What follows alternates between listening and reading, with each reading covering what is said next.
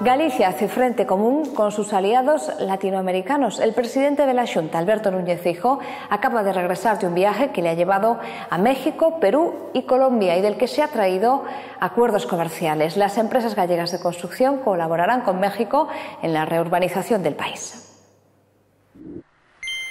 Galicia y México abren una nueva vía de intercambio comercial en el sector de la construcción y las infraestructuras.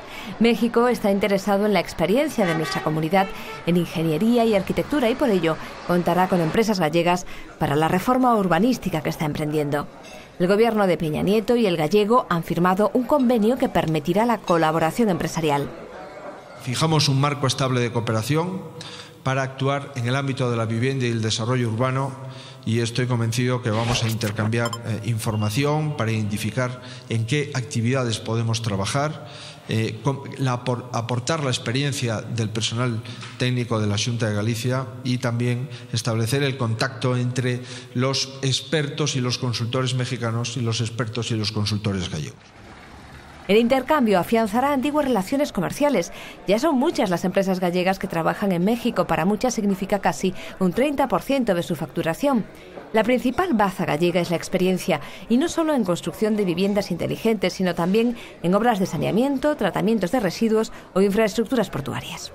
Es una reforma que está significando mucho, está calando profundamente a la sociedad. Las casas hoy son más grandes, los espacios públicos son más grandes y queremos mantener esta condición de crecimiento contando con la ayuda, la colaboración, la asesoría o la intervención inclusive de las empresas de Galicia.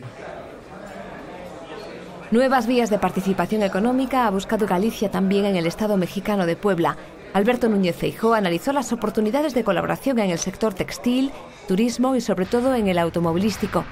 Puebla cuenta con una factoría de Volkswagen desde hace 50 años y Audi acaba de poner en marcha una nueva planta que podría compartir proyectos con Galicia. En Perú, y así lo marca el Plan Galego de Internacionalización, el gobierno gallego contará con un experto que consiga atraer inversiones extranjeras a Galicia.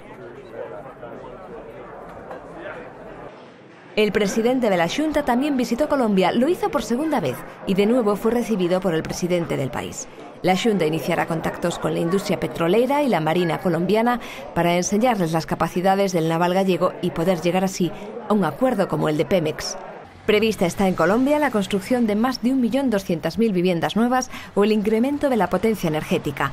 Galicia podría colaborar en sectores como la automoción, turismo, alimentación e industria naval. Nosotros no tenemos ni una flota pesquera importante, ustedes sí la tienen, ustedes tienen, pues digamos, los astilleros, tienen las embarcaciones de pequeño calado y grande calado, ahí yo creo que puede haber una inversión importante. A nosotros nos interesa como CCI tener una alianza estratégica con ustedes en el tema pues de pesca, acuicultura y en agroindustria también. Seguro que hay mucha oportunidad de trabajo aquí en Colombia y en toda esta parte que tenemos que mejorar de competitividad y ustedes me parecen que ya están muy adelantados en este tema. En toda esta parte que tenemos que mejorar. Desde la primera visita de Alberto Núñez Feijóo a Colombia en 2012 se han duplicado las exportaciones gallegas a este país latinoamericano. El presidente de la Junta garantizó en Perú, en Colombia y México la fiabilidad de Galicia y su intención de que la industria incremente su peso en el Producto Interior Bruto de un 13 a un 15%.